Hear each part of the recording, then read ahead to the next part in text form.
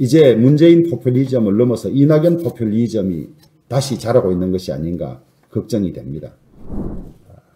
저희 국민의힘에서 어, 국가 재정 건전성에 관해서 많은 걱정을 하고 있습니다.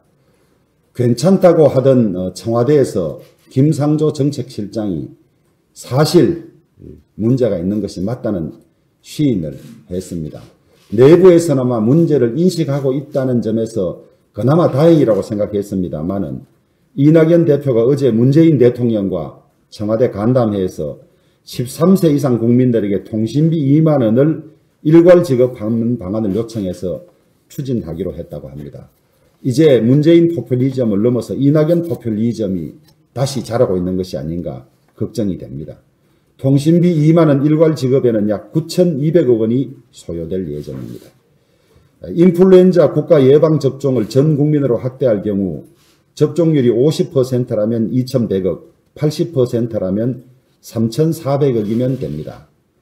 질병관리청에서는 올해 인플루엔자 백신 생산 계획이 3천만 개가 조금 안 되는 상황이라고 했습니다만은 이것만이라도 전액 국민들에게 무료로 접종하는 것이 통신비 2만 원 지급보다는 훨씬 더 어, 필요하고 긴급한 거라는 생각이 듭니다.